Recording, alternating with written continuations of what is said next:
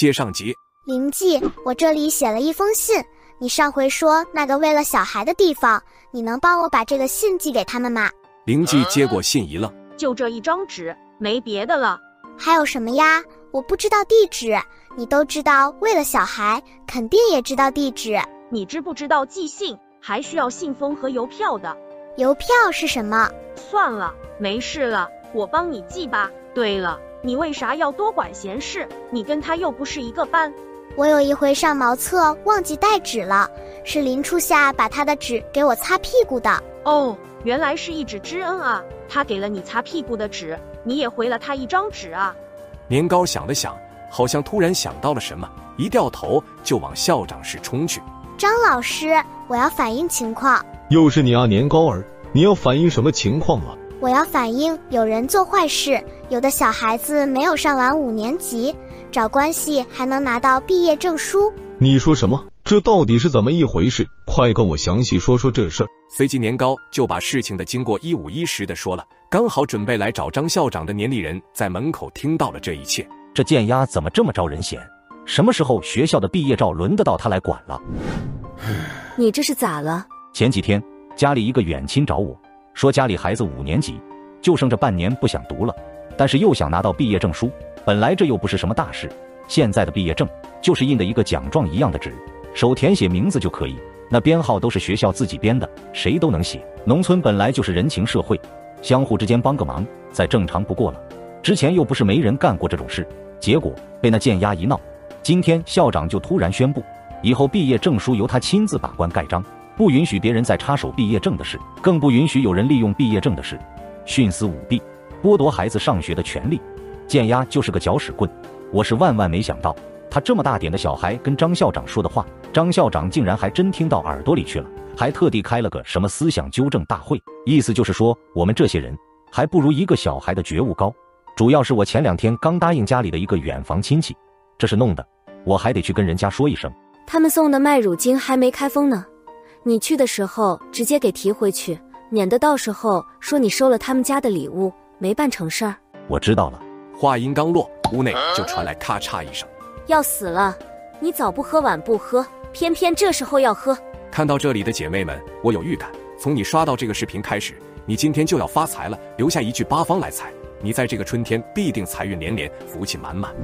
老师来家访了，人呢？老师已经走了，都说啥了？明天让初夏去上学吧，反正学费都交了，让他念到学期结束。你就没跟老师说，是他自己不想去的。说什么？你当老师是傻子吗？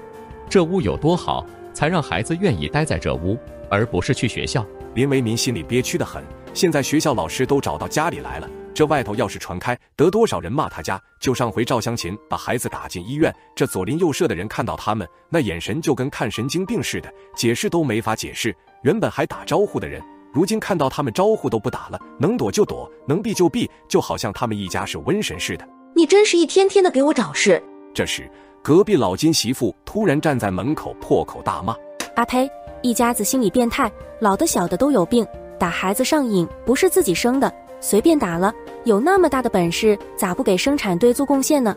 一天天净知道在家里欺负抱养的孩子，没那菩萨心，就不要干抱养人家孩子的活。”可怜人家的孩子给你家当牛做马，过去老财主的丫鬟也没被这么打过，心肠歹毒的狗东西！我等着看你们全家遭报应，遭天打雷劈的玩意儿！金花，差不多行了，不要拉我，我在骂我家亲戚呢，他全家都是猪狗不如的东西。你家啥亲戚啊？这么不喜欢孩子，咋还抱养呢？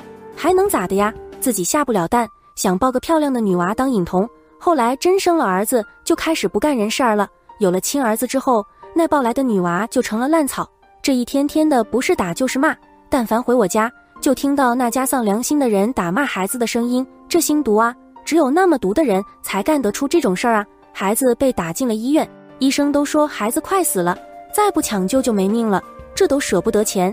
这么毒的人能把亲儿子养成什么样？李金花人平时挺好的，笑呵呵的，看起来没什么脾气，一般很少跟人红脸。他这人很记恩，但也记人仇，一旦记着就能记一辈子。他自认跟赵香琴是邻居，相处不错，要不然也不会拉着老金帮忙送孩子去医院。结果赵香琴那句羞辱人的话，实在是气到了李金花。直打从医院回来后，李金花没少跟人宣传林卫民两口子干的缺德事。这左邻右舍的，如今都知道那两口子是啥人。哼，还不都是因为你？你要干嘛？还嫌外面骂的不够难听是吗？林卫民拉着脸看向赵湘琴，老金媳妇都骂成这样了，他还动手，这不就是验证了人家没骂错？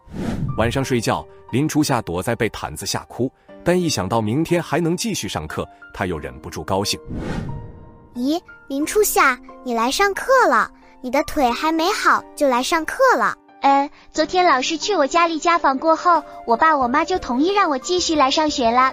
不过我也只能念到小学毕业，那怕啥？我爸说了，变化不如计划快。他们现在说不答应，说不定到时候就会有其他事情让他们答应让你念了呢。你看。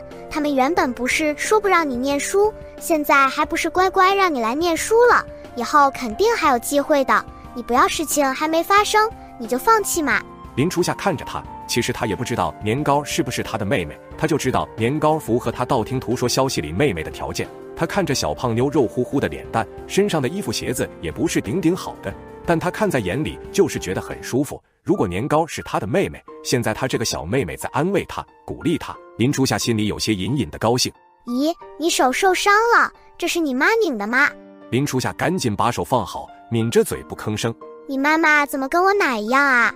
我小时候，我奶也喜欢拧我，拧得我胳膊上青一块紫一块的，还骗我妈说我跟其他小孩打架，被其他小孩拧的呢。你那么小，你奶奶还这样对你，你也挺可怜的。我讨厌我奶。她偷偷打我，我就往她碗里撒尿，往她喝的汤里扔鸡屎。她是你奶奶，你怎么可以这样啊？那我还是她亲孙女呢，她为什么打我呀？林初夏，我跟你说，每一个大人都是不一样的，有的大人叫人喜欢，有的不叫人喜欢，不能因为是大人，小孩就什么都顺着他们，那小孩多可怜啊！有些大人好奇怪的，他们又想要面子。但是又不做面子的事，像你爸你妈就是这样的坏大人。你妈天天不是打你就是骂你，你还要对她好，你就是大傻瓜。他们不爱你，你也不要爱他们。可是我住在家里，我要吃他们的，喝他们的。如果我不听话，他们把我赶出家门，我就只能流落街头了。虽然年糕说过可以去睡他的小床，可是林初夏得知年糕一家住猪圈，他不想拖累年糕一家。那不能，你是不是有点傻呀？你爸你妈要是把你赶出家门，你猜公安会不会找他们算账？你现在还是一个小孩，他们把你赶出家门，就等于是要把你饿死，都死了人了，公安还不管吗？所以你不要因为他们说要把你赶出家门，你就害怕。你要是真的离家出走了，害怕的是他们。你一个大活人，左邻右舍那么多人都看着呢，家里突然少个孩子，你猜他们好不好奇？我爸爸就经常跟我这样讲的呀。我爸爸可是高中毕业的人，可厉害了。你这个小孩是不是读书读傻了？你爸爸都不告诉你这消息道理吗？